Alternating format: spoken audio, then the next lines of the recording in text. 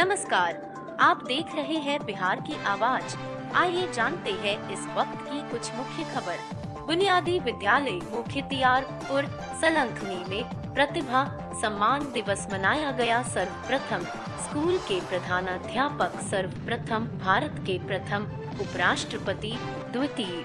राष्ट्रपति सर्वपल्ली राधाकृष्णन को याद करते हुए बच्चों को उनके जीवन से शिक्षा लेने की बात कही सभा की अध्यक्षता गणेश प्रसाद सिंह ने की। श्री प्रसाद ने बताया कि आप देश के भविष्य हैं, आप देश के लिए अपना एक एक कीमती समय देने का काम करें। देश से आपकी उम्मीद है, वही शिक्षक आमिर चंद माझी जी ने सर्वपल्ली राधा कृष्णन के जीवन दर्शन को लोगों के बीच रखने का काम किए। अन्य शिक्षकों ने भी प्रतिभा सम्मान दिवस के मौके पर बच्चों को धन्यवाद देते हुए देश के लिए कुछ करने, स्कूल का नाम रोशन करने का जज्बा रखने की अपील की समस्तीपुर जिला के दलसिंह सराय से चंदन कुमार की रिपोर्ट।